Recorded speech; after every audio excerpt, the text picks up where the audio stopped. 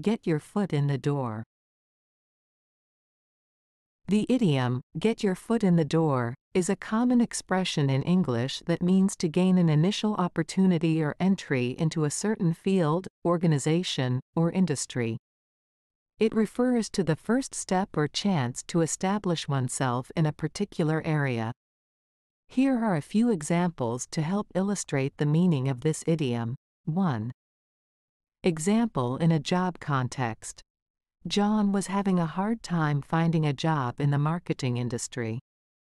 However, he managed to get his foot in the door by accepting a temporary position as an intern at a renowned company.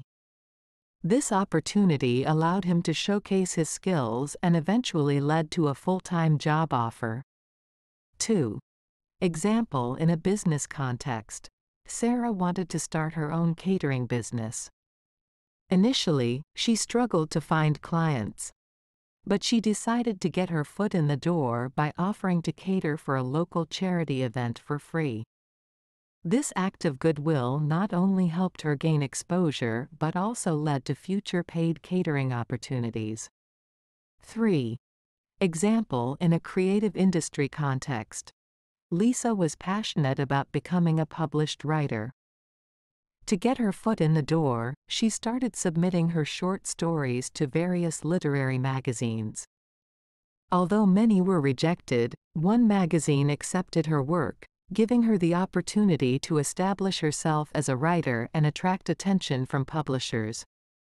4. Example in a networking context.